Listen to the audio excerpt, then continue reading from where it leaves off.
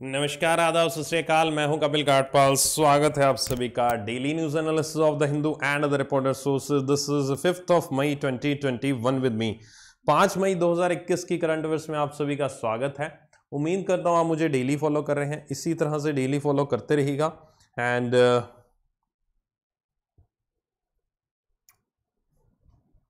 बने रहेगा मेरे साथ, जुड़े रहेगा मेरे साथ। Okay okay. सो so, मुझे रिमोट के सेल मिल नहीं पाए तो आज हाथ से काम चलाना पड़ेगा।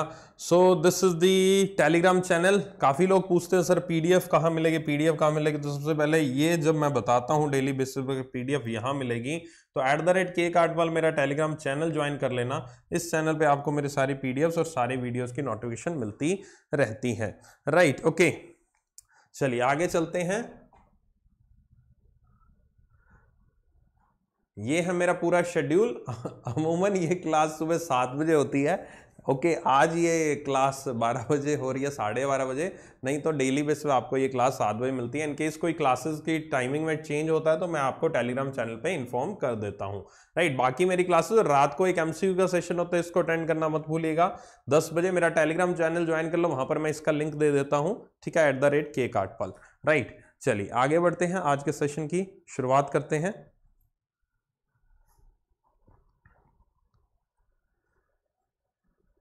बंदर है मेरी टी शर्ट पे आज केला खिला दो उसको। ओके okay, पहली न्यूज़ आपकी आई है सेबी से। Securities and exchange board of India. Securities and exchange board of India ने यहाँ पर फाइन लगाया है 1.75 करोड़ का on several entities in Vakrangee case okay okay, Vakrangee case में यहाँ पर 1.75 करोड़ रुपीस का यहाँ पर फाइन लगाया है securities and exchange board of India ने। अब ये फाइन लगाया गया विक्रांगी में। देखते हैं पूरी न्यूज़ क्या है। उससे पहले आज आरबी कॉर्नर में कोई भी अपडेशन नहीं था बट एक अपडेशन जो सुबह 10 बजे आया है, आज सुबह अभी 10 बजे एक रिज़र्व बैंक ऑफ़ इंडिया के गवर्नर की एक स्पीच आई है, जिसमें उन्होंने बहुत सारी अनाउंसमेंट्स की हैं, ठीक है? तो वो इतनी जल्दी पॉसिबल नहीं था उसको उसको मैं कंपाइल करके आपको प्रेजेंट करूँ तो वो हम कल डिस्कस करेंगे। जो भी रिज़र्व बैंक ऑफ़ इंडिया के गवर्नर ने आज की स्पीच में बातें करी क्या क्या उन्होंने बैंक को फैसिलिटीज़ दी, ठीक है? वो करेंगे। लेकिन एक आपसे गुजारिश है कि उस कल जो मैं पढ़ाऊँगा, आपको आरबी कॉर्नर पढ़ाऊँगा, आपको जो भी स्पीच में उन्होंने कहा है, उससे पहले एक बार मॉनेटरी पॉलिसी को रिवाइज ज़रूर करके आइएगा। क्योंकि उन्होंने बहुत सारे वर्ड्स उस स्पीच में, मैंने उस स्पीच को पढ़ लिया हालाँकि, मैंने बहुत सारे वर्ड्स उस स्पीच में ऐसे हैं जो कि रेपो रेट वगैरह वगैरह, इस तरह के टर्म्स उन्होंने बहुत यूज़ किए हैं उसमें। तो मैं कल की क्लास में आपको समझाऊँगा ज़रूर बट मैं ये एक्सपेक्ट करूँगा कि आप वो जो भी मॉनेटरी टर्म मॉनेटरी पॉलिसी के टर्म्स है, उनको आप अच्छे से रिवाइज करके आएँगे, अच्छे से पढ़ के आएँगे, तभी मैं उस चीज़ को पढ़ा पाऊँगा आपको और आपको ईजिली समझ में आ जाएगा राइट तो उस चीज़ को ज़रूर करके आना। कल हम उसको अच्छे से करेंगे।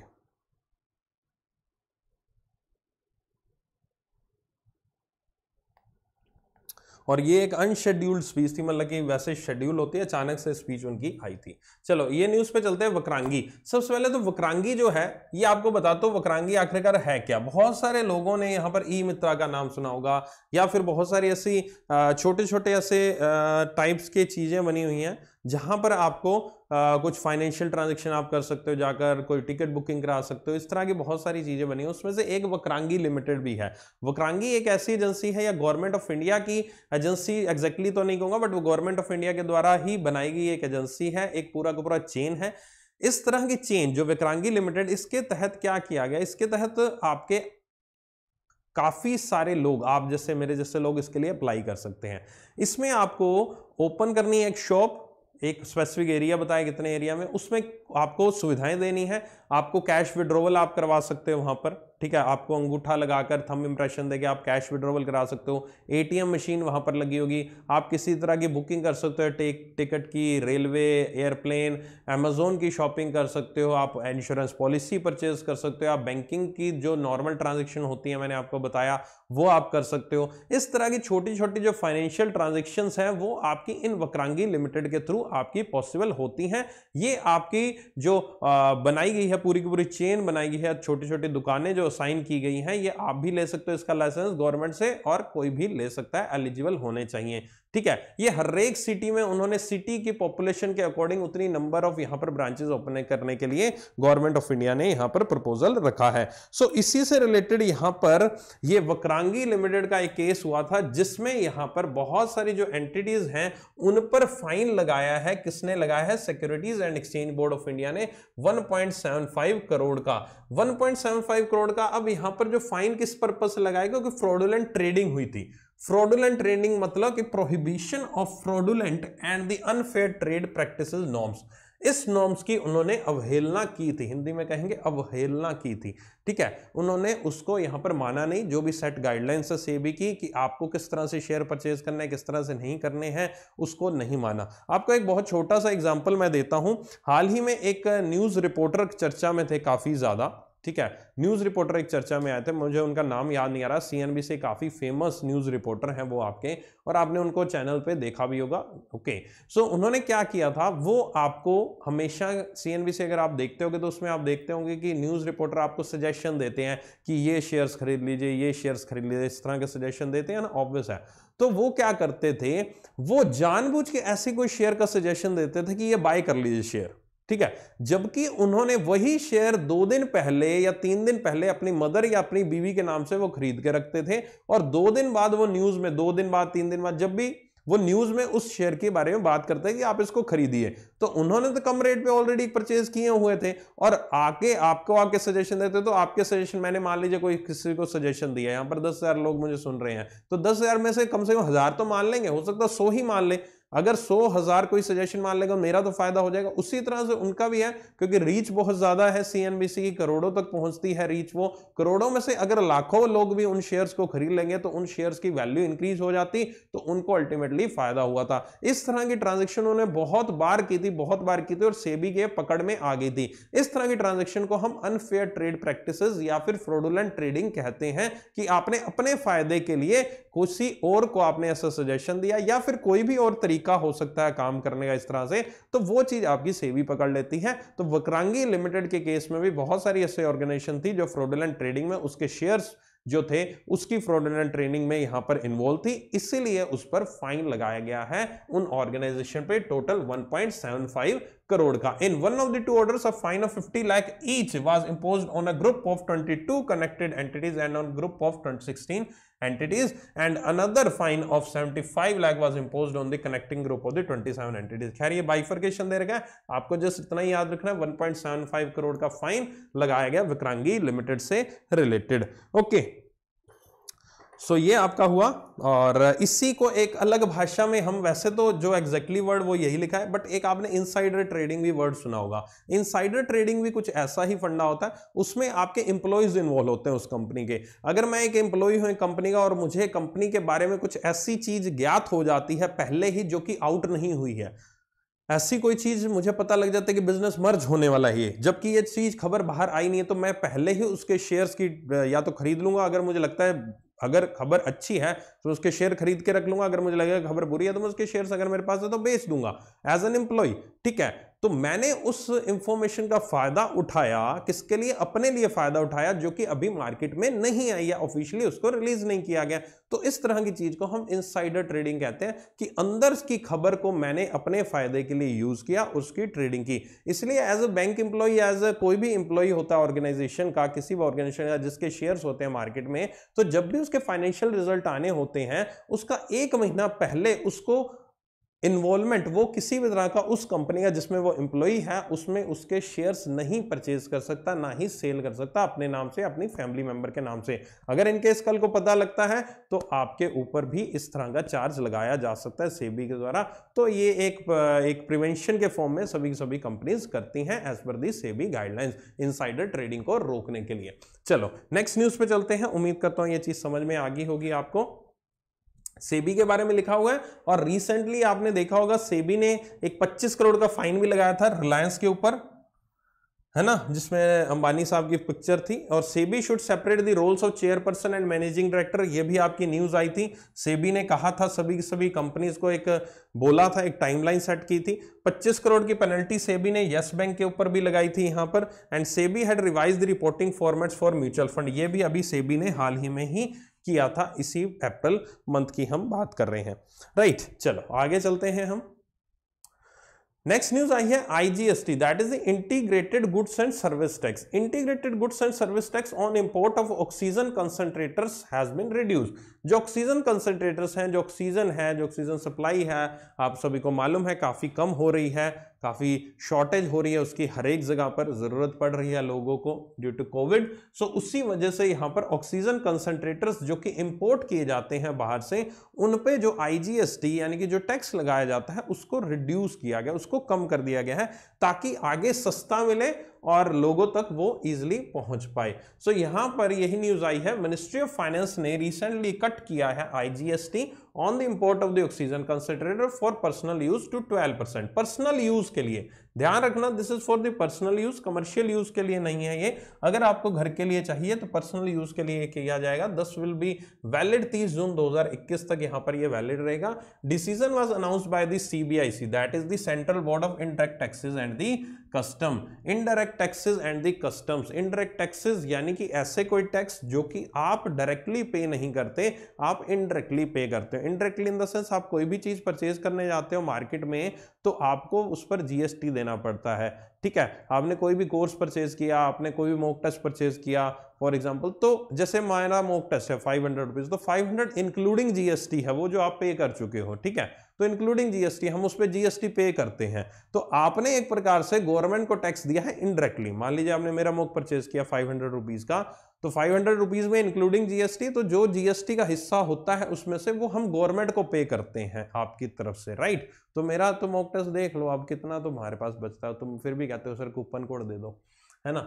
So decision was announce of the central board of indirect taxes जो कि इंडायरेक्ट टैक्सेस आप इंडायरेक्टली पे करते हो गवर्नमेंट के पास, वो आपका टैक्स जाता है। डायरेक्ट टैक्स आपका जो होता है डायरेक्टली आप पे करते हो that is the income tax right okay एक सेकेंड यार होल्ड रखना। होल्ड क्या वो? दो मिनट फ़ोन आ रहा है, ज़रूरी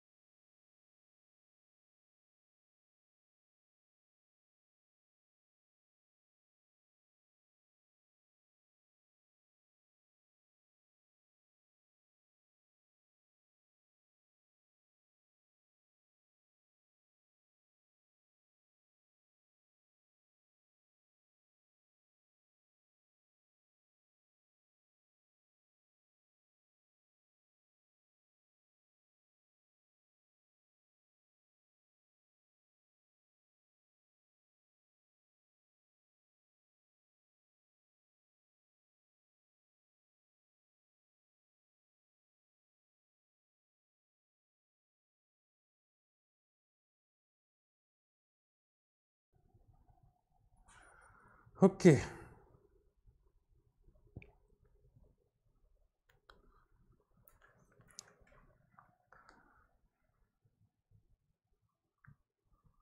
ठीक है।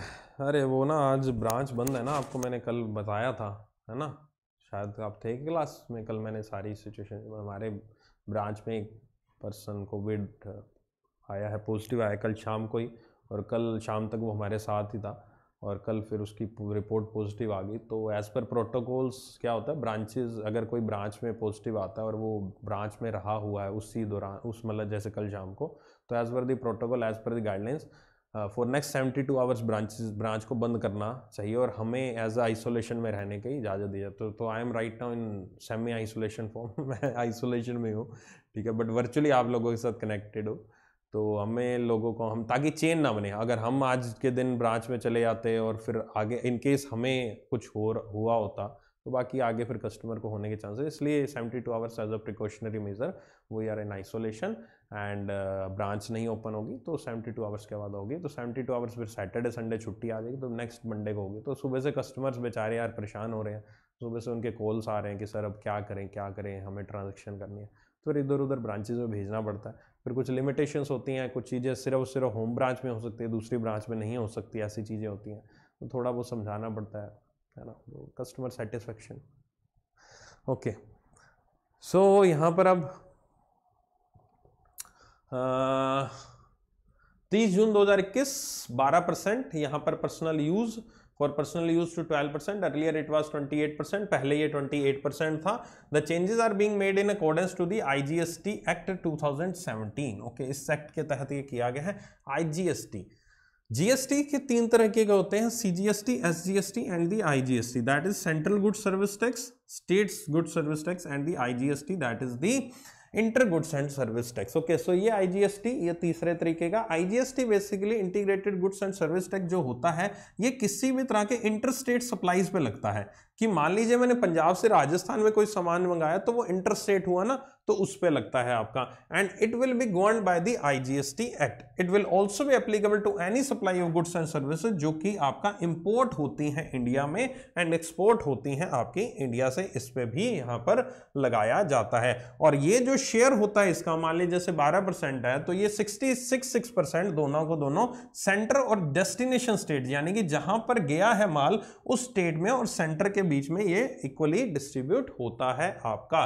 सीबीआईसी जो इस चीज़ को देखता है हमारे इंडिया में जीएसटी को पूरा पूरा, उसके चेयरपर्सन श्री अजीत कुमार जी है। ओके उसके चेयरपर्सन श्री अजीत कुमार जी हैं। Right so this is the news whole news okay चलो आगे चलते हैं हम।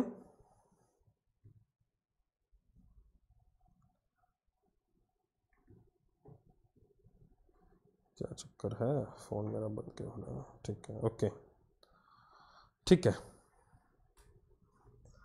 आ, अगली न्यूज़ पे चलते हैं। अगली न्यूज़ आपकी आई है किससे? अगली न्यूज़ आपकी फिनकेयर स्मॉल फाइनेंस बैंक से आई है। This is Motiwal Oswal PE acquired minority stake in Fincare small finance bank for 185 crore rupees okay so यहाँ पर एक करोड़ रुपीस का यहाँ पर स्टेक हासिल किया।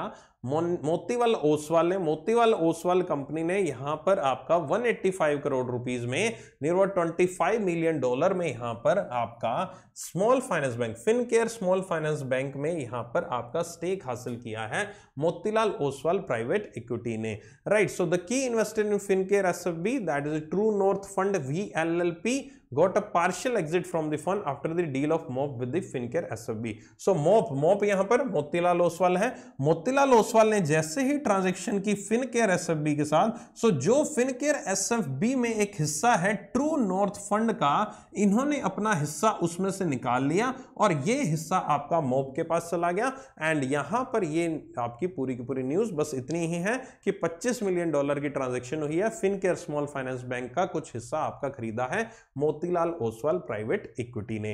राइट, जो हम बात कर रहे हैं यहाँ पर fin care small finance bank की, ये fin care small finance bank पहले एक एनबीएफसी हुआ करता था। That is a non finance bank company हुआ करता था, जो कि एक माइक्रो फाइनेंस इंस्टीट्यूशन था। मीन छोटे छोटे लोन आपका देता था which was turn in small finance bank ये 2017 में आपका स्मॉल फाइनेंस बैंक ये बना। Right before converting into small finance bank ये आपका कंडक्ट करता था बिज़नेस जो बिज़नेस के नाम थे आपके west indie, west India based Disha. Disha Microfin and the south India में बेस्ड था फ्यूचर फाइनेंशियल सर्विस ये दो एजेंसीज थी जिसके नाम से ये आपका काम करता था। ये पूरा का पूरा this was the Disha Microfin and the future financial services. This was the MOP acquired the minority stake in the Fincare small finance bank minority stake का मतलब है कि छोटा हिस्सा। माइनॉरिटी, मेजोरिटी, ये वो चीज़ है, कोई ये टेक्निकल टर्म नहीं है, माइनॉरिटी वाला फंड आके आप समझो कोई फाइनेंशियल टर्म है, नहीं। माइनॉरिटी मीन्स एक छोटा सा हिस्सा उन्होंने परचेज किया उसमें राइट ओके चलो। आगे चलते हैं। ये इसका स्टैटिक फैक्ट हुआ, मोप का एंड दी फिन केयर का राइट चलो नेक्स्ट न्यूज़ पे। नेक्स्ट न्यूज़ आपकी आई यूके इंडिया ने आपका एक 1.4 बिलियन डॉलर की इन्वेस्टमेंट डील की है। यूके एंड दी इंडिया ने 1.4 बिलियन की इन्वेस्टमेंट डील की है। UK government and the India government ने one billion pound of trade and investment with India this is expected to create 6500 jobs एक billion का यहाँ पर ट्रांजेक्शन एक billion 1.1 billion pound okay one billion pound लिखा है, ऊपर डॉलर लिखा है। ठीक है तो कंफ्यूज मत होना।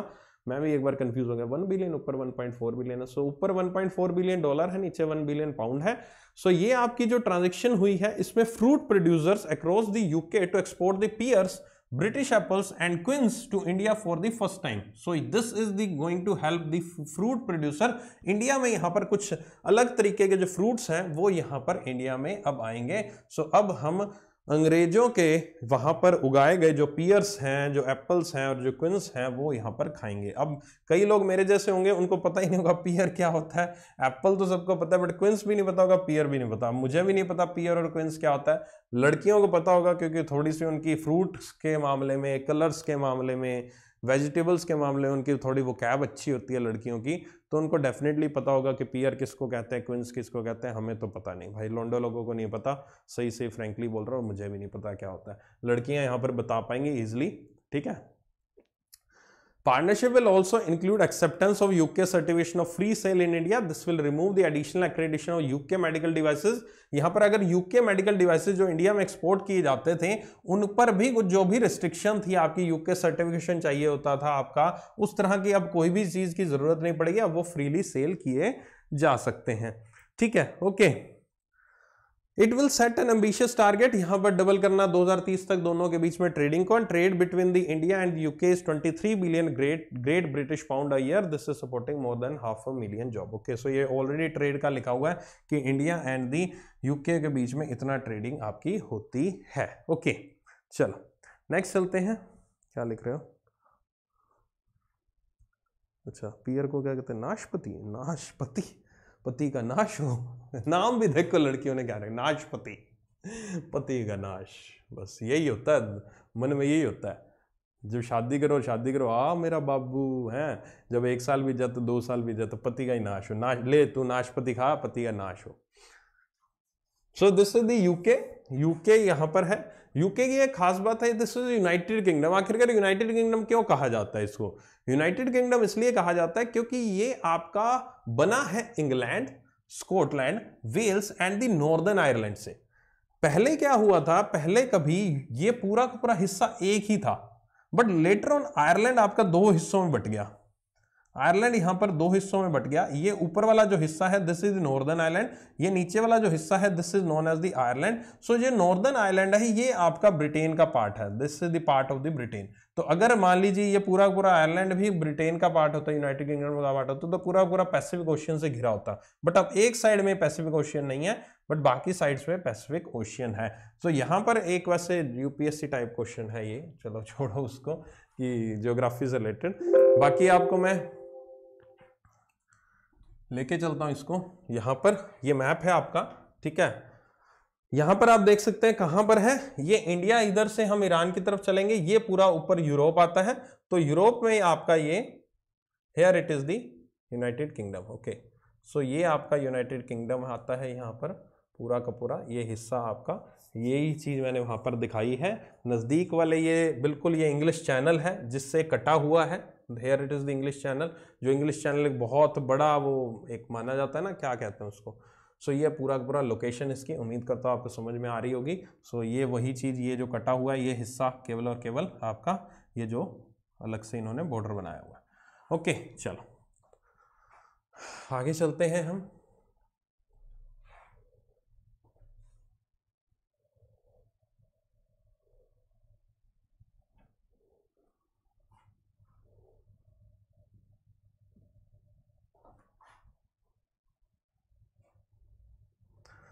हाँ ओडिशा गोपा बंधु संपादिका स्वास्थ्य बीमा योजना। ओके सो ओडिशा की तरफ़ से यहाँ पर एक न्यूज़ आई है। ठीक है, ओके, ओडिशा की तरफ़ से एक न्यूज़ आई है यहाँ पर आपका। एंड न्यूज़ को देखते हैं क्या है। चीफ मिनिस्टर ऑफ़ ओडिशा थोड़े छोटे फॉन्ट है पीडीएफ में सही दिख जाएँगे, ठीक है। Chief minister of Odisha Naveen Patnaik ने रिसेंटली डिक्लेयर किया, जो जर्नलिस्ट हैं, जो वहाँ के जर्नलिस्ट हैं आपके स्टेट के, उनको यहाँ पर कोविड 19 वॉरियर उन्होंने घोषित किया। ठीक है कोविड 19 वॉरियर घोषित किया और उन्हीं के लिए उन्होंने गोपा बंधु संवादिका स्वास्थ्य बीमा योजना जारी की।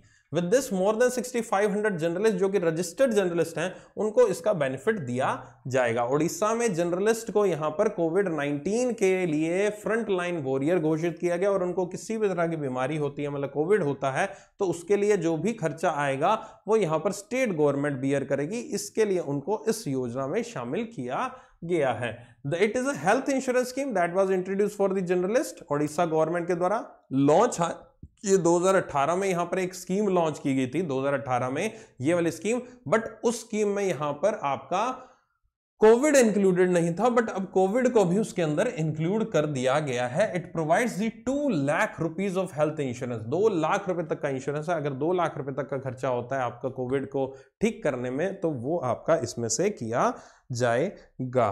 राइट ओके सो ये है आपका scheme includes cashless treatment in government and private hospital ये सब चीज़ें यहाँ पर लिखी हुई हैं। और ये जो नाम है आपके गोपा बंधु साहब जी, जो गोपा बंधु दास जी थे, ये स्कीम इनके नाम पर लिखी गई है। ये एक काफ़ी रिफॉर्मर थे सोशल वर्कर कहते थे जर्नलिस्ट थे बाय प्रोफेशन पोएट थे। इन्होंने काफ़ी सारे fields related field of agriculture art society and the epithet of the Utkal Mani it means the jewel of Odisha इनको यहाँ पर कहा जाता था। ही लॉन्च अ मैगजीन नाम the Satyabadi his contribution to journalism were short but remarkable okay so इन्हीं के नाम पर यह स्कीम आपकी रखी गई है।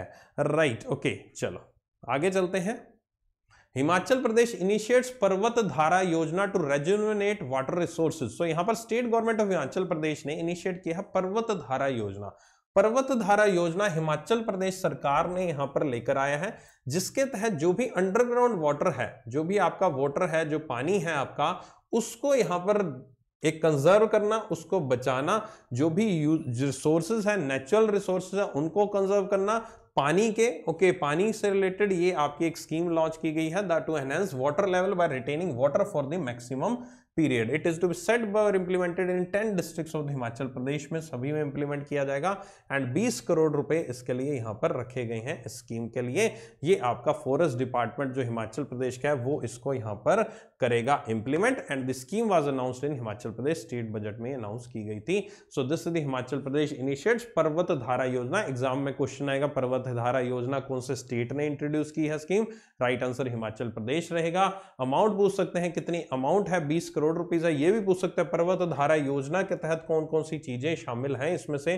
तो ये रिलेटेड टू है revive recharge aquifers and the conserve the natural resources of water in the state okay चलो, आगे चलते हैं हम। ये आई है एक असम से न्यूज़ हमारी, Putola Nach puppetry art form of Assam okay so Assam से न्यूज़ आई है trust based in Assam, recently made videos using the traditional art called the putola Nach okay Putola, Putola. जो भी इसको बोलते हैं, ठीक है प्रोनाउंसिएशन जैसी भी असम में आप लोग वहाँ के कोई रहने वाला होगा तो डेफिनेटली उसको पता होगा। The art form was use to take the messages related to COVID 19 COVID 19 से जुड़े हुए अवेयरनेस क्रिएट करने के लिए ये एक इस आर्ट की आपकी वीडियोस को रिलीज़ किया गया। ये वीडियोस आपकी प्रोड्यूस की गई in collaboration with the UNICEF के साथ मिलकर and the names of video videos were the COVID Shatru इनके नाम क्या रखे गए? कोविड शत्रु इनका नाम रखा गया। पहला नाम कोविड शत्रु रखा गया। कोविड भीम भारत रखा गया आपका भी Bharat. And the these were to release in Assamese में रखा गया इनका नाम। मामा रोमीना को कोविड कथा एक नाम रखा गया उसका। COVID tale of Mama and Meena was release in Nepali language में इसका नाम इसको रिलीज़ किया गया। इस नाम से यहाँ पर नेपाली लैंग्वेज में रिलीज़ किया गया। So so, some north east वहाँ का एक फ़ेमस यहाँ पर एक पपेट यानी कि कठपुतली का खेल है यहाँ पर। ये आपका वहाँ पर होता है, जिसको हम पुतला नाच या फिर पुतला बहुना भी कहते हैं। ठीक है सो ये चीज़ आपकी आई, इसमें और कुछ इंपॉर्टेंट नीचे different style of string puppetry in Assam में लिखा हुआ है अलग अलग तरीके की यहाँ पर लिखी हुई है। एग्ज़ाम पढ़ने से पूछेंगे, पुतोला नाच कहाँ का है? पुतोला नाच आपका असम का है, ये पूछ सकते हैं। किसके साथ मिलकर कोलेब्रेशन किया है? यूनिसेफ के साथ मिलकर कोलेब्रेशन किया क्या क्या नाम रखा गया वीडियोज़ का? कोविड शत्रु एंड द कोविड भी भारत नाम रखा गया इसका। एंड दिस इज़ द कठपुतली का खेल आपका, यहाँ पर दिया जाएगा, पुतला नाच इज़ कॉल्ड द पुतला बाउना। राइट ओके सो यहाँ पर Putola Nach Nach is the pronunciation okay so this is the और हमारे यहाँ पे जो पंजाबी में बोलते हैं, वो बोलते हैं एक वजह पुतला तो नहीं, एक पटोला ज़रूर फ़ेमस वर्ड है, ठीक है? समझ गए पटोला किसको बोलते हैं। चलो आगे। चलो आगे चलते हैं food processing guidelines issued for PLI scheme for the food processing industry so यहाँ पर आपका आ,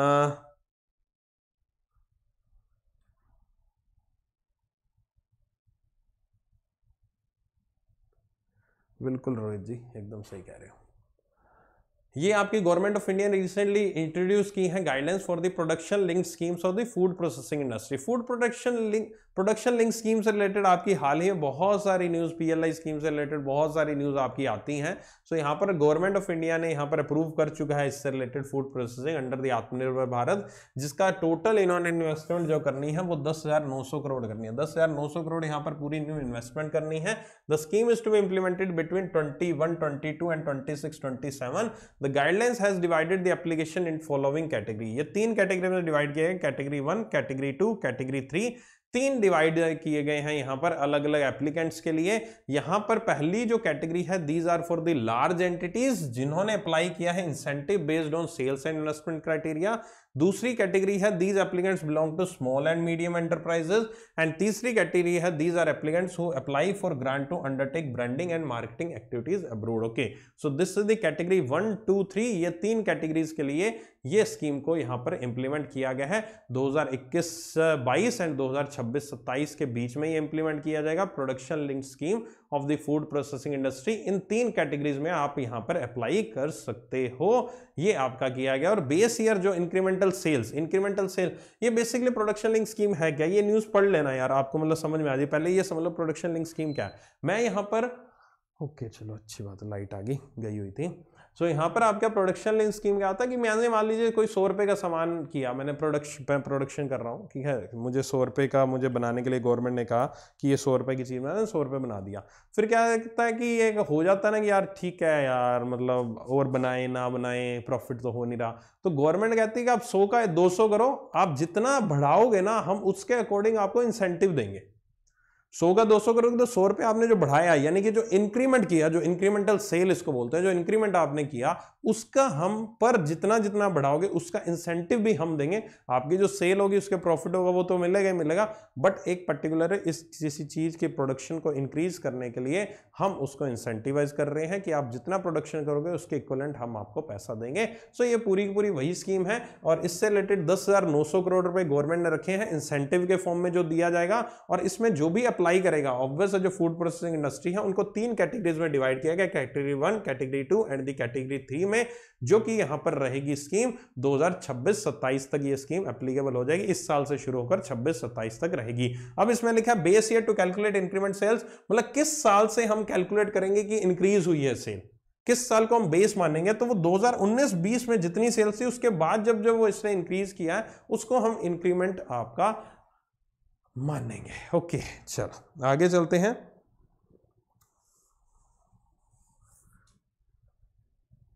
ये प्रोडक्शन लिंक स्कीम के बारे में जो खैर मैंने अभी आपको बताया, ये थोड़ा सा और यहाँ पर बजट में भी इसके बारे में काफ़ी चीज़ें बताई गई थी, ठीक है? तो एक बार अच्छे से पढ़ लेना, इस पर्टिकुलर स्लाइड में से भी क्वेश्चन आ सकता है। ध्यान रखना, इस पर्टिकुलर स्लाइड में से क्वेश्चन आ सकता है। पहले ये दस सेक्टर इंक्लूडेड थे, फिर लेटर ऑन तीन सेक्टर्स को और इंक्लूड किया गया, ठीक है? ऑलरेडी एग्जिस्टिंग थ्री सेक्टर्स ये ऑलरेडी थे, उसके बाद दस सेक्टर्स को यहाँ पर और अप्रूवर किया गया था यहाँ पर लेटर ऑन सो ये पूरा का पूरा पीएलआई के बारे में लिखा हुआ है स्कीम के बारे में यहाँ पर मेंशन है आपको अगली न्यूज़ है हमारी क्रिम्सन सोलर प्रोजेक्ट यूएसए ने अप्रूव किया 550 million US dollar so 550 million US dollar यहाँ पर यूएसए ने अप्रूव किया है क्रिम्सन सोलर प्रोजेक्ट के तहत recently approved 550 million US dollar for the Crimson Solar project. The project will provide electricity to 77,500 homes. Okay, 87,500 homes के लिए यहाँ पर प्रोजेक्ट यहाँ पर प्रोवाइड कराएगा इलेक्ट्रिसिटी। 550 मिलियन यूएस डॉलर यहाँ पर रिसेंटली अप्रूव किया गया है। इसके लिए यहाँ पर ये आपका यूएस से गवर्नमेंट के द्वारा किया गया है। The project is to be set up on 2000 acres of land in desert of California California के डेजर्ट में ये यहाँ पर इंक्लूड किया जाएगा। The project site is 13 miles west of Blythe okay, so ये आपकी यहाँ पर लोकेशन है। टोटल यहाँ पर आपका एक सोलर प्रोजेक्ट लगाया जाएगा। यूएसए के द्वारा 550 मिलियन यूएस डॉलर। और ये चीज़ अब इंपॉर्टेंट इतनी क्यों है यहाँ पर? अब यूएसए में करेगा ऐसे तो आप कहोगे, सर इंग्लैंड में भी होगा ऐसे, आप कहोगे, सर फ्रांस में भी होगा, जर्मनी में तो क्या हम पूरे के पूरे इंटरनेशनल न्यूज़ को याद करते रहे? एक माइंड में तो आती है ना ऑब्वियस चीज़ है। ये जो न्यूज़ है, ये इसलिए इंपॉर्टेंट है क्योंकि हाल ही में आपने एक कॉन्फ्रेंस सुनी होगी जो अर्थ डे के मौके पर हुई थी, जिसमें इंडिया के प्राइम मिनिस्टर भी उन्होंने वर्चुअली पार्टिसिपेट किया था। याद है आपको, जिसमें यूएसए ने कमिटमेंट किया था और इंडिया और स्वीडन के बीच में जो आईटी लीड नाम का इनिशिएटिव था, जिसमें यूएसए अपना बीच में आ गया, है ना, घुस गया बीच में उसके तो वो पूरी पूरी न्यूज़ याद आ रही होगी। दो न्यूज़ आई थी अलग अलग समझ गए ना? याद आ गया? तो वही न्यूज़ को एक कंटिन्यूशन कह लीजिए, या वही जो यूएसए ने उस में एक कमिटमेंट किया था, जिसमें इन्होंने कहा था कि ये दो million US dollar of infrastructure proposal to curb the greenhouse gas emission दो जो उन्होंने यहाँ पर अभी कमिटमेंट किया था, जो अचीव किया था लीडर समिट में उन्होंने बताई थी बात, उसी को लेकर यह चीज़ आपकी बनाई गई है। जो उन्होंने कहा था 2050 तक लीडर समिट में उन्होंने कहा था कि USA will achieve net zero emission by 2050 उसी को यहाँ पर आपका कंटिन्यू किया गया है, यहाँ पर आपका ओके ये आपका हुआ US president Joe Biden signed two million US dollar और infrastructure proposal to curb the greenhouse gas emissions ये पूरी पूरी न्यूज़ आई है। अब यहाँ पर ये आ गया, यहाँ पर क्या? एक एरिया नाम याद रख लें डेजर्ट ऑफ़ कैलिफ़ोर्निया यहाँ पर ये किया गया है ओके डेजर्ट ऑफ़ कैलिफ़ोर्निया में। मैं ये भूल गया, बस देखना डेजर्ट ऑफ़ कैलिफ़ोर्निया के बारे में कि डेजर्ट ऑफ़ कैलिफ़ोर्निया आखिरकार है कहाँ? देखें डेजर्ट ऑफ़ कैलिफ़ोर्निया है कहाँ? पता लगाते हैं, ठीक है? मतलब एग्जैक्टली exactly क्या है ये?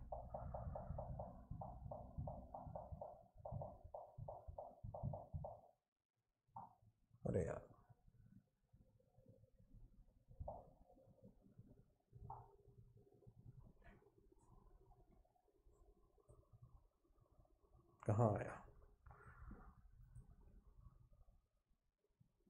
लोकेशन बता रहा है?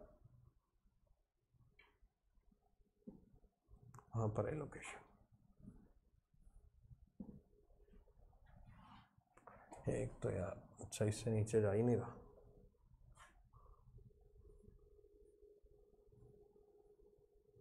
ये रहा. Okay so this is the United States and ये आपका यूनाइटेड स्टेट्स है यहाँ पर, आप देख सकते हैं, ठीक है? This is the whole United States नीचे आपका साउथ अमेरिका चला जाता है ब्राज़ील ब्राज़ील आ जाता है मैक्सिको आ जाता है, और ये रहा इस तरफ़ यहाँ कोने में। दिस इज़ दी ये एरिया है डेजर्ट ऑफ़ कैलिफ़ोर्निया में, जहाँ पर मोजेब नेशनल प्रिजर्व भी है डेजर्ट लीली सेंचुरी ये सब चीज़ें, ये पूरा का पूरा यहाँ पर एक डेजर्ट ऑफ़ कैलिफ़ोर्निया ये कहलाता है कैलिफ़ोर्निया एरोजीना लास वेगा साथ में है। बिल्कुल बढ़िया, है ना? ठीक है? ओके। चलो। चले, दोबारा अपने यहाँ पे।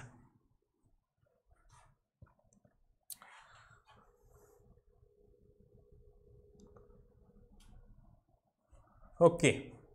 निर्मला सीतारमन ने वर्चुअली इनेग्रेट किया इंडिया का first three D printed house at the IIT M okay so यहाँ पर आईआईटी एम के साथ यहाँ पर मिलकर वर्चुअली इनेग्रेट किया इंडिया का पहला three D printed house, three printed house यहाँ पर, इंडिया का पहला थ्री प्रिंटेड हाउस यहाँ पर निर्मला सीतारमन जी ने यहाँ पर इनेग्रेट किया है। ओके, यहाँ पर किया है आपका ये inaugurated right union home finance minister nirmala sitharaman virtually inaugurated india first 3d printed house at the indian institute of technology madras chennai mein the single story home has been built in just 5 days over an earth of about 600 square feet using concentrated 3d printing इस technology को use करके IITM में आपका एक 3D printed house बनाया गया IITM में ये क्वेश्चन पूछा जा सकता है कहाँ पर बनाया गया त्वास्ता मैन्युफैक्चरिंग सॉल्यूशंस के द्वारा बनाया गया। त्वास्ता मैन्युफैक्चरिंग सॉल्यूशंस के द्वारा ये बनाया गया a startup founded by the IITM alumni in association with the habitat for humanity Terwilliger centre for innovation in shelter build the 3D printed house this 3D printed house would help to meet the deadline of prime minister जो उनका vision है housing for all 2020 तक सबको घर provide कराना, उसी का है। ये आपका अब क्वेश्चन इसमें से बनेगा। इंडिया का पहला 3D प्रिंटेड हाउस कहाँ पर बना? आईआईटी एम चेन्नई में बना, ये आपका जो बनाया गया, किसके द्वारा बनाया गया? त्वास्ता मैन्युफैक्चरिंग सॉल्यूशन के द्वारा बनाया गया, जो कि आईआईटी एम के द्वारा ही फाइनेंस की गई एक स्टार्टअप है यहाँ पर, और ये आपका यहाँ पर किया गया त्वास्ता मैन्युफैक्चर के द्वारा आईआईटी एम में पहला थ्री प्रिंटेड हाउस ठीक है? पहला थ्री प्रिंटेड हाउस अगली न्यूज़ हमारी फॉर्मर सुप्रीम कोर्ट के जज पीसी पंत साहब को यहाँ पर अपॉइंट किया गया एनएचआरसी का यहाँ पर एक्टिंग चेयरपर्सन टेम्परेरी चेयरपर्सन बनाया गया है, एक्टिंग चेयरपर्सन बनाया गया है। The name is the Prafulla Chandra Pant a former supreme court judge had been appointed as the acting chairperson of the national human rights commission इन्होंने जगह ली, किसकी जगह ली? एचएल दत्तू जी की जगह ली, जो कि यहाँ पर टेन्योर उनका एंड हो चुका था last year he. His appointment was authorise by the supreme president of India Ramnath Kovind so basically क्या होता है? किनका जो अपॉइंटमेंट है वो प्रेसिडेंट आपका देता है फाइनल और इनका जो एक ऑफ़िस होता है पाँच साल तक और, और till the age of seventy years लेकिन इनको एक बार एक्टिंग बनाया गया परमानेंट नहीं किया गया इनको। ही वॉज़ रिटर्न इन्होंने बहुत सारी बुक्स लिखी हैं इनके बुक्स के नाम यहाँ पर लिखे गए हैं। इनको एनएचआरसी का मेंबर भी बनाया गया था अप्रैल 2019 में जज रह चुके हैं सुप्रीम कोर्ट के 2014 से 2017 के बीच में चीफ जस्टिस ऑफ़ मेघालय रह चुके हैं। एंड इस कमीशन में जो एनएचआरसी की अगर बात करूँ तो एनएचआरसी में एक चेयरपर्सन होता है चार फुल टाइम मेंबर होते हैं और चार यहाँ पर डीम्ड मेंबर्स होते हैं और इसका जो चेयरपर्सन है वो यहाँ पर चीफ जस्टिस होना चाहिए या फिर जज होना चाहिए सुप्रीम कोर्ट का। ये कंडीशन और क्वेश्चन आपसे पूछा जा सकता है यहाँ पर कि फॉर्मर सुप्रीम कोर्ट के जज जो हैं पीसी पंत जी कौन है, किसके अपॉइंट किए गए, एनएचआरसी के। एन एनएचआरसी का चेयरपर्सन किसको बनाया जाता है? What should be the basic criteria he should be the chief justice of India he और शी और आइदर आइदर चीफ जस्टिस और अ जज ऑफ़ द सुप्रीम कोर्ट, वो होना चाहिए, जो कि पीसी पंत जी रह चुके हैं। कब से कब तक रह चुके हैं, ये एक इंपॉर्टेंट क्वेश्चन पूछा जा सकता है आपसे एग्ज़ाम में। अगस्त 2014 से अगस्त 2017 2014 से 2017 के बीच में ये रह चुके हैं। और इनके जो फाइनल अप्रूवल है वो प्रेसिडेंट आपका अपॉइंट करता है इनके अप्रूवल को। ठीक है? सो so, यहाँ पर कुछ और चीज़ें लिखी हुई एनएचआरसी के चेयरपर्सन के बारे में। वहाँ पर लिखा हुआ चेयरपर्सन मेंबर्स प्रेसिडेंट के द्वारा चुने जाते हैं और एक कमेटी बनाई जाती है। इस कमेटी में यहाँ पर प्राइम मिनिस्टर हेड होते हैं। जो एनएचआरसी के जो मेंबर हैं प्लस उनका चेयरपर्सन जो है, वो बेसिकली एक कमेटी के द्वारा चुना जाता है और उन कमेटी की रिकमेंडेशन पे प्रेसिडेंट उसकी यहाँ पर अपॉइंटमेंट को फाइनलाइज करते हैं। इसमें यहाँ पर बहुत सारे लोग होते हैं, खैर याद करने की आवश्यकता नहीं है जस्ट एक नॉलेज पॉइंट ऑफ़ व्यू से बता रहा हूँ कौन कौन होते हैं। बट ये चेयरपर्सन याद रख लेना, इसका चेयरपर्सन प्रधानमंत्री होता है। NHRC national human right commission अपने आप में नाम से इसको पता लग रहा होगा कि आपको ये क्या काम करता है। This is about this everything other uh, every other thing about the NHRC right okay चलो आगे चलते हैं हम Vijay Goyal takes additional charge as the CMD of the TSDC India Limited. So Vijay Goyal, director personnel of the TSDC India Limited, has taken over the additional charge as the chairman and the managing director of the TSDCIL. Okay okay, इन्होंने जगह ली धीरेन्द्र वीर सिंह की धीरेन्द्र वीर सिंह की जगह ली किसने ली विजय गोयल जी ने ली but but इनको additional charge दिया गया मतलब एक्स्ट्रा चार्ज दिया गया ऑलरेडी ये यहाँ पर काम कर रहे हैं आपका एज दी टीएसडीसी में ऑलरेडी काम कर रहे हैं as the director personal but इनको अब एडिशनल चार्ज दिया गया ये सीएमडी भी बनाए गए हैं टीएसडीसीएल के। टीएसडीसीएल जिसका हेडक्वार्टर ऋषिकेश, उत्तराखंड में है और इसके यहाँ पर बनाए गए हैं एडिशनल चार्ज विजय गोयल जी को यहाँ पर इसका एडिशनल चार्ज दिया गया है। ओके चलो। आगे चलते हैं। बीसीसीआई ने कल ही हमारे सामने न्यूज़ आई थी। काफ़ी एक शॉकिंग न्यूज़ थी कि इंडियन प्रीमियर लीग के यहाँ पर बीसीसीआई ने सस्पेंड कर दिया है आपका आईपीएल को। अभी फ़िलहाल पता नहीं कब होगा। अभी तक केवल और केवल 29 गेम्स ही आयोजित हुई थी और बाकी गेम्स को इनडेफिनेटली नो आइडिया कि कब दोबारा से होगा। और इसी को चलते हुए अभी ये भी माना जा रहा है कि अगर कोरोना आपका चलता रहा तो टी ट्वेंटी वर्ल्ड कप जो कि इंडिया में होने वाला है, जिससे रिलेटेड हमने अभी न्यूज़ भी पढ़ी थी कि टी ट्वेंटी का फाइनल जो है वो नरेंद्र मोदी स्टेडियम अहमदाबाद में, जो दुनिया का सबसे बड़ा स्टेडियम बना है, वहाँ पर आयोजित किया जाएगा और उसको भी यही कहा जा रहा है कि इंडिया से शिफ्ट होकर वो यूएई में हो जाएगा T twenty world cup. Let's see खैर, हम लोग तो वैसे भी जा नहीं सकते तो फिर जहाँ भी हो, क्या फ़र्क पड़ता है? हमने तो टीवी पे देखना है। हाँ यहाँ इंडिया में होता, अगर हम जा पाते, कोविड ना होता, जा पाते, फिर ज़रूर अफसोस होता कि इंडिया में क्यों नहीं हो रहा। राइट चलो, आगे चलते हैं। Mark Selby world champion for the fourth time in snooker, so यहाँ पर आपका English professional snooker player Mark Selby इन्होंने जीता वर्ल्ड चैंपियनशिप चौथी बार। चौथी बार इन्होंने जीता यहाँ पर स्नूकर प्लेयर मार्क सेल्वी ने। चौथी बार फोर्थ टाइम वर्ल्ड चैंपियनशिप जीता हराया इन्होंने शॉन मर्फी को।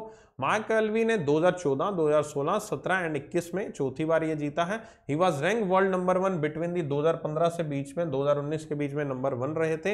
एंड ये आपका 1927 से वर्ल्ड चैंपियनशिप आयोजित की जा रही है by the world professional billiards and snooker association के द्वारा चलो मेरे बंधुओं वैसे तो मैं हमेशा लड़कियों को कहता रहता हूँ है ना? आज तो मैं कह रहा हूँ बिलियर्ड्स और स्नूकर में डिफरेंस क्या है? बताना ज़रा। ठीक है गूगल मत करना, बताना ज़रा। बड़े खेलते हो ना? खेलते हो गए? कॉलेज कॉलेज जाते हो गए? वहाँ गए होंगे कभी? बाहर चलो यार, आज स्नूकर खेल के आते हैं ना। वहाँ जो डंडे से बॉल को मारा होगा, किया होगा काम, बहुत लोगों ने किया है ना। पता होगा स्नूकर और बिलियर्ड्स में क्या डिफरेंस है। बताना ज़रा कमेंट सेक्शन में।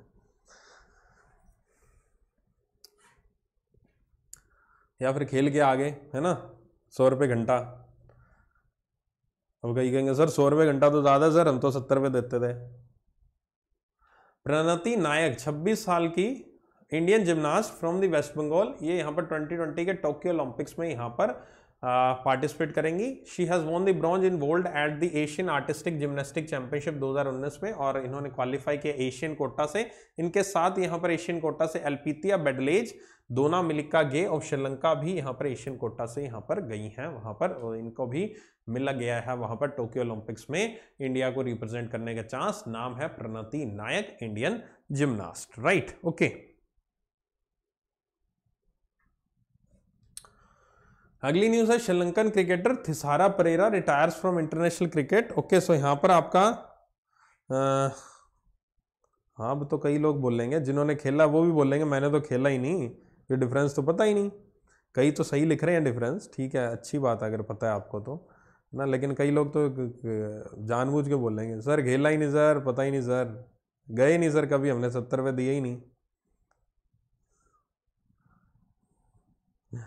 चलो ठीक है? Sri Lanka cricketer Thisara Perera retires from the international cricket और यहाँ पर इंटरनेशनल क्रिकेट से श्रीलंका के प्लेयर थिसारा परेरा इनका आ, हाल ही में रिटायरमेंट हो चुका है ठीक है? रिटायरमेंट ले लिया। Thisara Perera has represented Sri Lanka in six test और ये आपके उस टीम के पार्ट थे जब श्रीलंका ने 2014 में टी ट्वेंटी वर्ल्ड कप जीता था बांग्लादेश में हुआ था। He was one of the three players other than the Brett Lee and the Lasith Malinga Lasith Malinga and Brett Lee के अलावा ये आपके उन तीन प्लेयर्स में जो कि आपके हैट्रिक ले चुके हैं both ODI and the T twenty format T twenty और ओडीआई में ब्रेट ली और लसित मलिंगा के अलावा ये तीसरे प्लेयर हैं जिन्होंने यहाँ पर अपनी हैट्रिक ली थी। ये एक अच्छा क्वेश्चन बन सकता है। अगर मैं एग्जामिनर होता तो मैं यहाँ से क्वेश्चन पूछता कि थिसारा परेरा जो हाल ही में रिटायर हुए हैं, इनके अलावा नीचे दिए प्लेयर में से ऐसा कौन सा प्लेयर ऐसे कौन से दो प्लेयर हैं जिन्होंने यहाँ पर हैट्रिक ली है ODI in the T twenty में। तो दो दो प्लेयर के नाम देता है। एक ऑप्शन होता है ब्रेटली एंड लसित मलिंगा दूसरा ऑप्शन होता है Brett Lee and someone all एक ऑप्शन होता है लसित मलिंगा और समवन और तीस चौथा ऑप्शन पांचवा ऑप्शन कुछ और हो सकता था। ठीक है? तो उसमें सही आंसर रहेगा Brett Lee and the Lasith Malinga याद रखना, ये क्वेश्चन आपका आ सकता है एग्ज़ाम में इस तरह से। नेक्स्ट चलते नुमान जोसा को भी आपका बैन कर दिया है करप्शन के चार्जेस में, हाल ही में आईसीसी ने। आईसीसी बहुत ज़्यादा बैनिंग कर रहा है रीसेंट इवेंट्स मैंने लिख दिए हैं। यूएई के कादिर खान को भी अभी हाल ही में इन्होंने बैन किया है। श्रीलंका के क्रिकेटर दिलहाला, दिलहारा लोको हिटगे को भी बैन किया गया है यहाँ पर। और जिम्बाब्वे के कैप्टन रह चुके हीथ स्ट्रीक को भी बैन किया गया है। और हाल ही में ग्लोबल विनर्स आए थे कुछ अर्जेंटीना, ब्राज़ील, युगांडा बनातू इनको कुछ दिया गया था प्राइजेस हमने देखा था अच्छे से। और अहमदाबाद का Narendra Modi stadium to host the ICC men's T twenty world cup जो कि मुझे अभी खतरे में लग रहा है कि हाँ ये शायद ही यहाँ पर हो पाए। इसको यूए में शिफ्ट करने की बात की जा रही है, ठीक है? सो दिस इज़ जो ऐसा जिनको छः सालों के लिए यहाँ पर बैन कर दिया गया है। श्रीलंका के ही यहाँ पर पूर्व cricket player as well as the coach रह चुके हैं। राइट ओके अगली न्यूज़ है हमारी veteran Gujarati and Hindi film actor Amit Mistry. आपने देखा होगा इनको बहुत ही फ़ेमस एक्टर हैं। बहुत सारे सीरियल्स में छो, छोटे बच्चों वाले मतलब छोटे बच्चों तो क्या मतलब जब आप छोटे थे तब तब तो नहीं आते थे अभी आते हैं काफ़ी सारे। तेनाली रामा मैडम सर मतलब इस तरह की यमला पगला दीवाना में देखा होगा शोर इन द सिटी मूवी में देखा होगा इनका हाल ही में निधन हुआ। अगली एक बुक आई सत्यजीत रे। सत्यजीत रे नाम सुना होगा, काफ़ी famous personality Hindi film industry से जुड़ी हुई one of the greatest film maker hundred birth anniversary के मौके पर यहाँ पर उनके ऊपर एक बुक रिलीज़ की गई, Satyajit book red Ray title the another dozen stories ये लिखी गई है, आपकी ट्रांसलेट की गई translated from Bengali to English by Indrani Majumdar के द्वारा। शर्मिला टैगोर जी ने इसका फॉरवर्ड लिखा है मतलब फ्रंट पेज जो होता है वो लिखा है the book was publish by Penguin और ये कुछ और उनके बुक्स हैं जो सत्याजीत रे से जुड़ी हुई ओके चलो। ये है हमारा एडिशनल इंफॉर्मेशन आपको मैंने कुछ दिन पहले न्यूज़ दी थी, कुछ दिन पहले नहीं आई थिंक परसों ही हमने न्यूज़ पढ़ी थी श्यामला गणेश जी से रिलेटेड याद होगा श्यामला गणेश जी को ऑर्डर ऑफ़ राइजिंग सन दिया गया था। So this is additional information in that news उस न्यूज़ में और भी चीज़ें थी। तो उसके अलावा यहाँ पर उनको तीसरा हाईएस्ट ऑर्डर uh, मिला था आपका जापान का ऑर्डर ऑफ़ राइजिंग सन इसमें क्या थी? कैटेगरीज भी थी और। कैटेगरी क्या थी? इनको gold and silver rays category में मिला है। ठीक है? इनको gold and silver rays category में मिला है यहाँ पर। और इसके अलावा यहाँ पर पूर्व प्रिंसिपल सेक्रेटरी प्राइम मिनिस्टर के नृपेंद्र मिश्रा को भी order of rising sun gold and silver star category में मिल चुका है। यहाँ पर farmer president of Ikebana international Gurgaon chapter Indira Mishra को ने भी आपका order of rising sun gold and silver rays में ही आपका यहाँ पर जीता। And the former local employ consulate general of Japan जो मुंबई में रहते हैं लुइस एंटन फर्नांडिस ने भी order of sacred treasure silver rays में यहाँ पर इन्होंने जीता। ओके सो ये आपका कुछ यहाँ पर एक एडिशनल फैक्ट आया है इस न्यूज़ में। सो मैंने एक ये चीज़ आपकी आ, स्टार्ट की है कि कोई केस कोई एडिशनल फैक्ट आपका रह जाता कोई ऐसा फैक्ट जो न्यूज़ में हमसे रह गया तो मैं उसको दो तीन दिन में कवर करवा देता हूँ आने वाले डेज़ में। तो ये चीज़ हम इसको कर चुके हैं। राइट ये चीज़ हम ऑलरेडी कर चुके हैं। राइट चलिए। आई थिंक ये हो चुका है। एंड उम्मीद करता हूँ आपने जाना मत। एक मैं कुछ एडिशनल फैक्ट और है, वो मैं आपको बता रहा हूँ। कल हमने जो एक सिडबी की न्यूज़ पढ़ी थी, उससे रिलेटेड एक एडिशनल फैक्ट है। जाना मत अभी, ठीक है? Okay okay. उससे पहले उससे पहले, ठीक है? क्या करते हैं उससे पहले? एक बात करते हैं, ठीक है? ये हमारा कल मैंने, खैर, इसके बारे में बता दिया था, उम्मीद कर तो सबने देख लिया होगा। पीडीएफ कोर्स में जाना, ठीक है? पीडीएफ कोर्स में जाना, study Niti clerk cracker quiz series हमने लॉन्च की है। जिनका अभी ये दिखा रहा है, उन्होंने एनुअल मॉक टेस्ट परचेज किया तो डोंट वरी, आपको सही दिखने लग जाएगा। जो लोग खरीदना चाहते हैं, खरीद लेना। ये देखो, टेक टेस्ट ऑप्शन आ गया ना, आठ तारीख से स्टार्ट हो जाएगा। मैंने आज फिर से इसलिए बता रहा हूँ, क्योंकि अगर कोई भी पर्सन जिसके पास एनुअल मॉक टेस्ट है, उसको ये फ्री मिलेगा, उसको कुछ भी अलग से पे नहीं करना। इन केस अगर वो परचेज कर, अगर वो उसने नहीं परचेज किया और ये चीज़ अगर करना चाहता है तो कल सुबह बारह बजे तक का टाइम है। कल सुबह 12 बजे तक अगर आप एनुअल मॉक टेस्ट खरीद लेते हो, तब आपको ये फ्री मिलेगा। अगर कल सुबह 12 बजे के बाद अगर हमारा एनुअल मॉक टेस्ट खरीदोगे तो इसको आप फ्री में नहीं ले पाओगे। इसके लिए आपको प्राइस पे करना पड़ेगा, जो कि प्राइस फ़िलहाल तीन सौ है। ये प्राइस कल सुबह बारह बजे के बाद साढ़े हो जाएगा। ये प्राइस भी कल सुबह साढ़े तीन सौ हो जाएगा। ठीक है, आज मैंने नहीं इसको करवा पाया। सो कल सुबह इसका प्राइस साढ़े तीन सौ। तो जिसने भी खरीदना, बारह बजे से पहले, कल सुबह बारह बजे से पहले एनुअल मोकटस खरीद लेना फ्री मिल जाएगा। अगर अलग से परचेज करना है तो तीन सौ रुपये पे करके परचेज कर लो, नहीं तो कल सुबह साढ़े बारह बजे इसका प्राइस साढ़े तीन सौ हो जाएगा।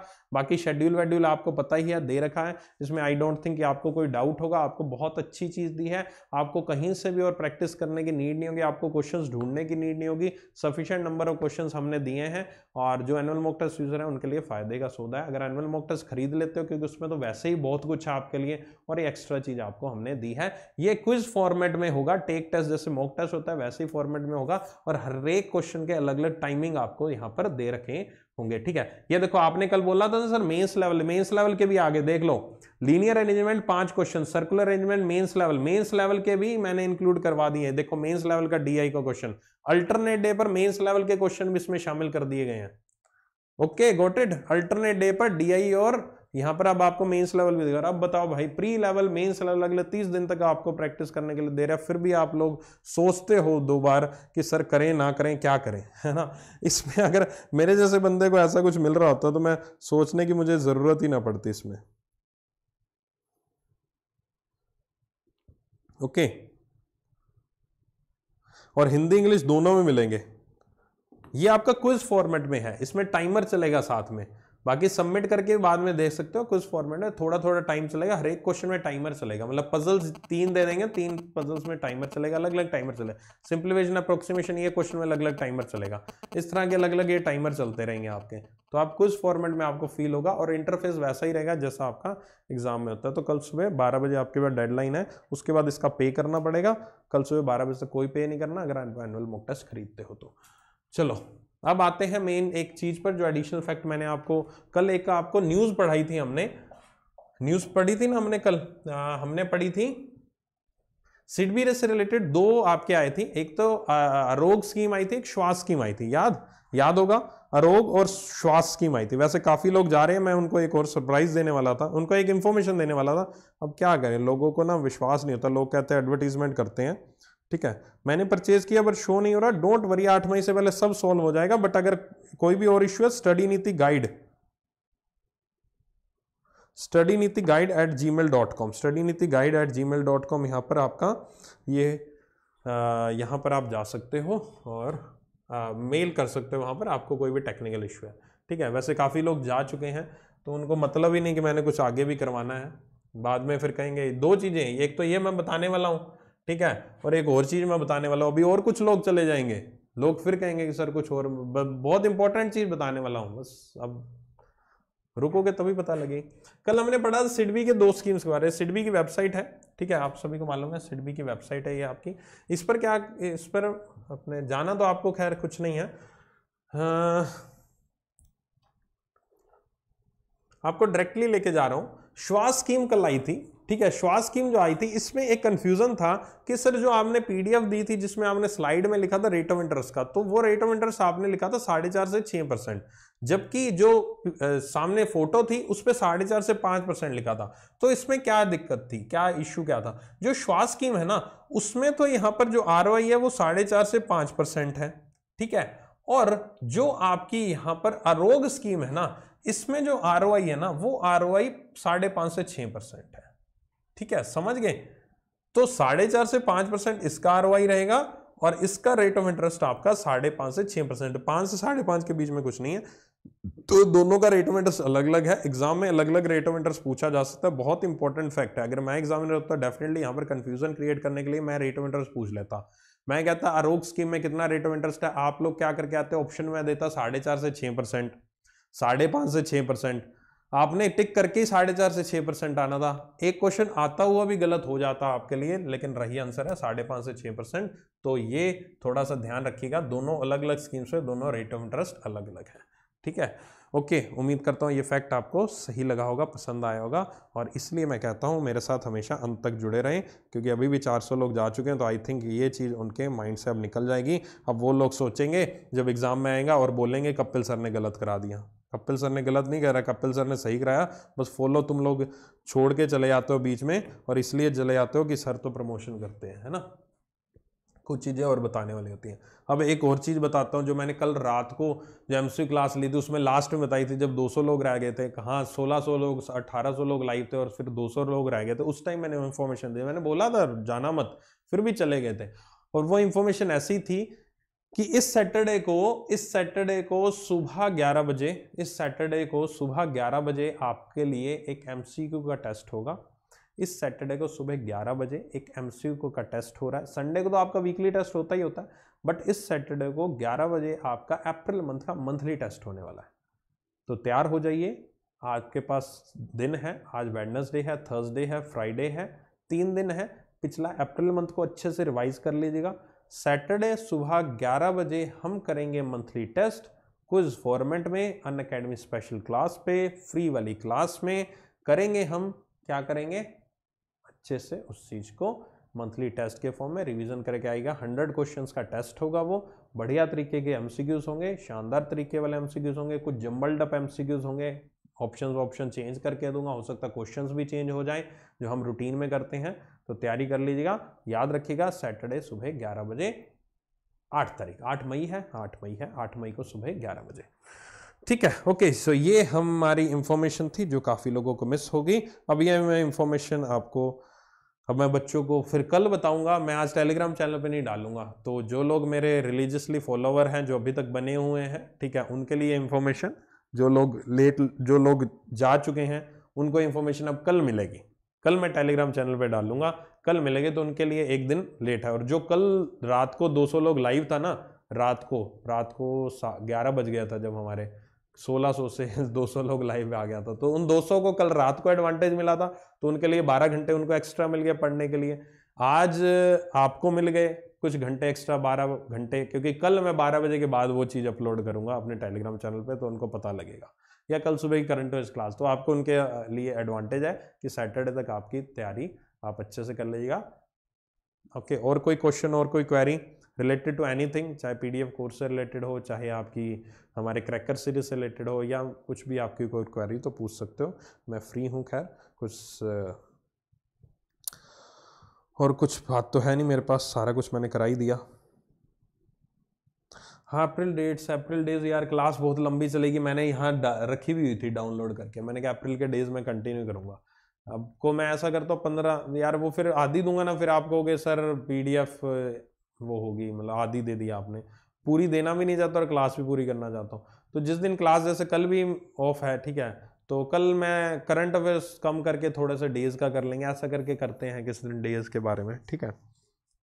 अप्रैल रडार हाँ रो आ चुकी है रो बन गई तो मैं वो रो फ़ाइल आपको अभी शेयर कर दूँगा, ठीक है? आज आपके पास रो फ़ाइल भी शेयर हो जाएगी, हिंदी की पीडीएफ भी शेयर हो जाएँगी, जो पिछले मंथ की हिंदी की करंट अफेयर्स है, वो भी शेयर हो जाएँगे, अभी रडार की जो रो फ़ाइल है, वो मैं शेयर कर देता हूँ, ठीक है? पाँच सेट पाँच क्वेश्चन का मतलब है, एक एक सेट है मतलब ती, तीन पजल्स वो आपको दिए हैं यहाँ पर। तीन पजल्स हैं वो। ये पाँच क्वेश्चन का मतलब एक सेट है। फ्लोर बेस्ड एक पजल है लीनियर अरेंजमेंट की एक पजल है मंथ मंथ बेस्ड की एक पजल है और ये यहाँ पर ये मेंस लेवल की एक पजल है लीनियर अरेंजमेंट के सर्कुलर अरेंजमेंट एक एक पजल पाँच क्वेश्चन मतलब एक पजल एक सेट पजल का। ठीक है? हाँ जी, सफ, देखो सफिशिएंट तो आपकी कुछ नहीं होता सफिशिएंट तो आपको तैयारी करनी है। आप तैयारी करो सफिशिएंट है। आप तैयारी नहीं करोगे, कोई चीज़ सफिशिएंट नहीं है। मतलब इतने नंबर ऑफ़ क्वेश्चंस अगर आपके पास ये भी है ना क्रैकर सीरीज़ भी है और हमारा पीडीएफ कोर्स भी है मतलब उसके अलावा आपको इधर उधर देखने की ज़रूरत नहीं पड़ेगी। क्वेश्चन ढूंढते हो ना, जो गूगल पे जाकर इधर उधर वो ढूँढने की ज़रूरत नहीं पड़ती, बस बात ये है। उस, वो टाइम आपका हमने इस फॉर्म में बचाया और उसके लिए हम नॉमिनल चार्ज कर रहे हैं। पाँच सौ रुपये में तो आपको पूरे साल का एनुअल मॉक टेस्ट दे रहे हैं, जिसमें मैंने ये इंक्लूड करवा दिया। और पीडीएफ कोर्स में तो पता नहीं, नौ हज़ार क्वेश्चन है यार, नौ हज़ार क्वेश्चन टीम बना बना के थक जाती है है ना?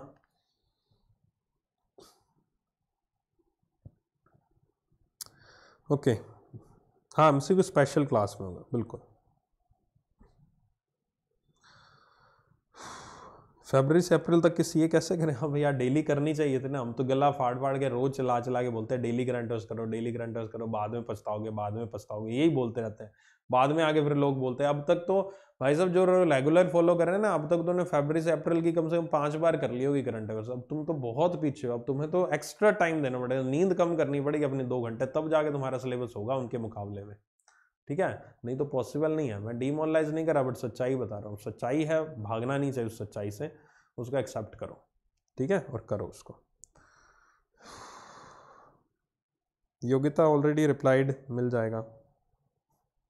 जॉब के साथ हो सकती तैयारी। अगर मैं जॉब के साथ आपको पढ़ा सकता हूँ, मैं अपना टाइम दे रहा हूँ आपको, दिन में तीन घंटे आपके साथ रहता हूँ। सुबह सात बजे से शुरू होकर नौ बजे तक और रात को दस से ग्यारह। तीन घंटे मैं जॉब के साथ दस से सात की जॉब के साथ मैं अपने तीन घंटे आपको दे रहा हूँ, उसके अलावा जो कंटेंट बनाने का टाइम वो आपको दे रहा हूँ। मान के चलो पाँच से छः घंटे में आप लोगों के लिए काम कर रहा हूँ तो क्या आप लोग उस पाँच छः घंटे को अच्छे से यूटिलाइज करके, पढ़ाई करके एग्ज़ाम नहीं क्लियर कर सकते क्या? ज़रा सोचो इस बात को। मैं कर सकता तो आप भी कर सकते हो। मैं कोई सुपरमैन तो हूँ नहीं। मैं भी इंसान हूँ आपकी तरह, बस इतना एज का डिफरेंस है, बस दैट्स द डिफरेंस ठीक है? मुझे इस चीज़ के पैसे मिल रहे हैं, आपको पैसे मिलेंगे। आपको पढ़ाई करके नौकरी लग के पैसे मिलेंगे। मुझे ऑलरेडी इस चीज़ के पढ़ाने के मिल रहे हैं। पैसे तो दोनों जगह ही हैं, इसलिए दोनों काम करते हैं। आप जॉब किस लिए लगते हो? सैलरी के लिए करते हो? मैं पढ़ा किस लिए कर रहा हूँ? मुझे भी पैसे मिल रहे हैं। एक डेडिकेशन है, एक अंदर से जुनून है कि हाँ यार, मुझे पढ़ाना है, कुछ करना है। खुद के लिए करना है, दूसरों के लिए करना है, जैसे भी आप समझ लें जो भी आप उसको इंटरप्रेट करें। आपको भी किसके लिए करना है? आपको भी खुद के लिए करना है फैमिली के लिए करना है। कर सकते हो, सब कुछ पॉसिबल है। ओके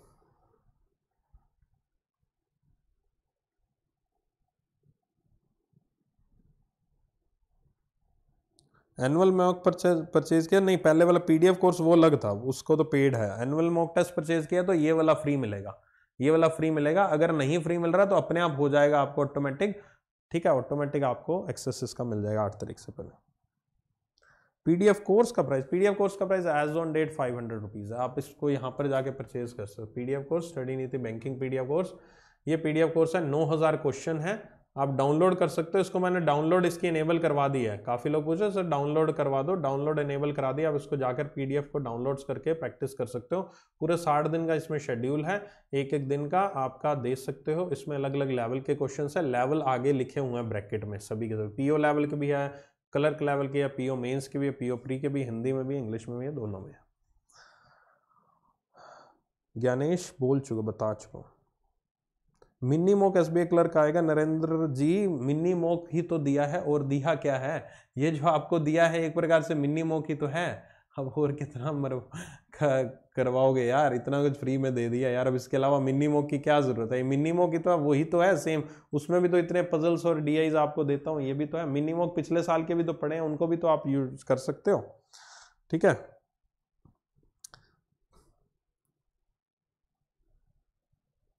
नहीं रीअटेम्प्ट नहीं है। ये आपको वन टाइम है सबमिट करके आप कर सकते हो। लेकिन क्रैकर सीरीज़ में एक और चीज़ आपको खास बात बता दो। क्रैकर सीरीज़ आप खरीद लोगे ना तो उसके बाद तीस दिन जब एंड हो जाएगा ना, तीस दिन जब एंड हो जाएँगे, तब आपको मैं पीडीएफ डाउनलोडेबल ऑप्शन अवेलेबल करा दूँगा। तब आप तीस दिन की, तीस दिन की जो है ना, वो पीडीएफ डाउनलोड कर सकते हो। अभी नहीं कर पाओगे, तीस दिन बाद उसकी डाउनलोड आप कर पाओगे उसको, ताकि आप आने वाले, जब आपका एस बी क्लर्क का एग्ज़ाम हो जाएगा ना, उसके बाद आप उसको डाउनलोड कर पाओगे। तब तक आप उसको क्विज फॉर्मेट में करो। जब एस बी कलर का एग्ज़ाम हो जाएगा, उसके बाद मैं उसको डाउनलोड फॉर्म में अवेलेबल करा दूँगा। आप डाउनलोड करके रख लीजिए फ्यूचर के एग्ज़ाम के लिए आप उसको यूटिलाइज कर सकते हो। ठीक है?